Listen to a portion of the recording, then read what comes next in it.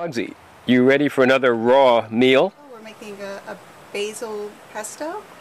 And basically, this is something, again, you don't have to be a raw foodist to make pesto.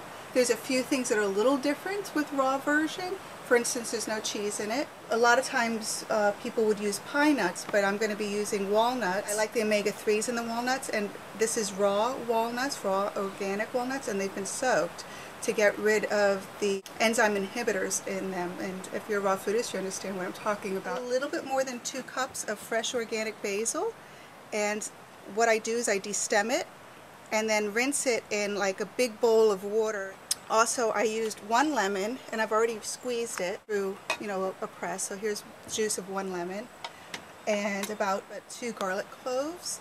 And what I like to do, not to make the garlic so intense since it is raw, do it through a garlic press and then put it, let it marinate a bit in olive oil, and that seems to take a little of the harshness away of the garlic. So that's just my personal preference too. But a nice tip, you know. But you made that. Out. I did make this. I That's just this, a jar I you're just using. made it. They're Right. This is actually this is an old jar. Celtic sea salt and very little bit of salt because I'm going to be adding other things to it. Extra virgin olive oil, organic too, will be in this recipe, about a quarter cup. So this is going to just start off as a basic pesto, and you could just do this alone. And then later I'm going to add some other things to it that makes it like my twist on pesto and making it even more nutritious and like what I would like to consider a party pesto. Okay, so let me start with putting it all together. It's just really easy. I think this is probably one of the easiest things you can make. I'm putting the basil into the food processor. This is about two cups. About a quarter cup of olive oil goes in with it. We just are finishing off the bottle. Pre-soaked, raw, organic walnuts. The juice of one lemon. the equivalent of about two garlic cloves goes in.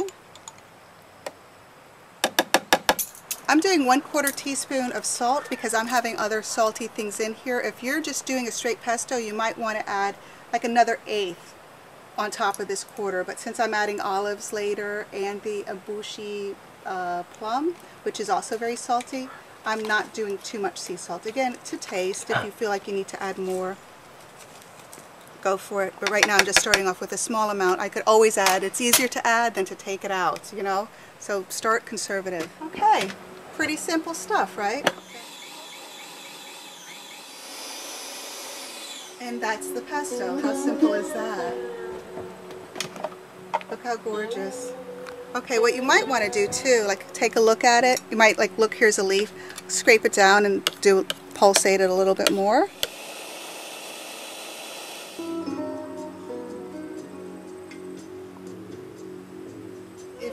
To, you could just stop right there and be done. Uh, that's, that's pesto. That's that easy. But now I want to add a few more interesting ingredients to it to make it more special and kind of jazz it up a bit. And one of the things that I just found out about, and I'm sure I'm not even pronouncing it right, and uh, please bear with me and my ignorance on it, boshi adds an interesting flavor to it. it. Think of it more like an olive, like a salty olive than something sweet. Really, it has a long history in Japan. If you Google it, find out something like samurai warriors used to eat it before they go into battle, like things like crazy stuff. And because um has the highest level of citric acid of any fruit, okay, and this is where it's key, which helps break down lactic acid and cleanse the body, it's also extremely good for fighting fatigue, which will be great for a party and slowing down the dreaded aging process. And I'm going to put about three of these into the pesto and blend it up. But I just think that's kind of a fun, kind of cool thing to add to something, you know, something making it more special than a traditional, just plain old pesto. pesto. And it will add an interesting flavor too. Again, on the salty side, that's why I was pretty conservative on the salt. Yeah, I'm putting the three of them have gone in. And the pits are kind of fun to suck on too. Mm. Yeah. Mm. Let me try one. Mm. I don't think I'm going to like it. Let me you try will one. not like this. Is it like an olive? It's very salty. Yes, I'll tell you. Extremely salty olive. Oh, God. What the hell? Oh, that is really salty. But it'll be okay when it's part of that, but oh, alone. It's blended with a lot of other things. Blending it up. Okay, with the oh. plum.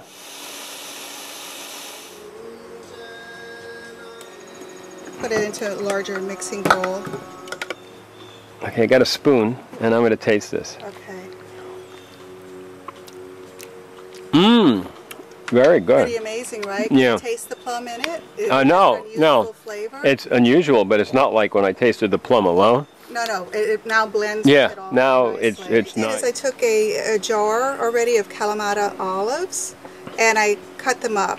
So this was just already pre-cut olives. Again, this is going to add even more saltiness, but a different kind of saltiness, and which will be nice because it's all going with zucchini, which is very mild. So even though these are intense flavors, it'll kind of mellow it with what it's going to be paired with. Also, the olives and the tomatoes are the party part of this pesto. so here's my tomatoes, and I'm putting that. I just sliced them in half. So I mix it all up, and I'm going to just let it kind of marinate in the fridge for a while. So we're going to run some errands and come back. Uh, Olive oil. We got to get olive oil. olive oil, but we're going to uh, come back and use the spirooli and make up some noodles with the zucchinis, which is also kind of a fun thing to add to this. Took a break, and we're going to get olive oil at the health food store. And what happened to the pesto? Where is it? In the fridge. Okay. So we're back. We picked up our olive oil. Pasta. Raw pasta. They look like it, don't they? Okay, so what I've done is I've peeled them and then split them in half. The zucchini right through the center. And then you just spin it. And then you're going to end up with little pasta. So here's the spaghetti coming out. The zucchini, Zucchini spaghetti. spaghetti is coming out. This is music to make uh, zucchini. Pasta by. Zucchini pasta by. I don't know. I'm not sure about this music. It's a little too classical for something Too so. clockwork orangey. See, now that's the music to be making this Spirooli. spaghettis, spirooli, zucchinis by. Spirooli music. Because it's for a party, so you don't want to have these really long pieces. And I'm just taking a scissor, which is clean, and this is dedicated scissor just for kitchen stuff, just like this. Just, you know. Don't use your hair cutting scissor. Now it goes in the fridge, and when we come back from Lex's party, we'll put the two together before we go to Hillary's party. We're very social today. Now Yeah. we're going to go see Lex's birthday party. Band. Yeah. All your loving is loving. All your kissing's just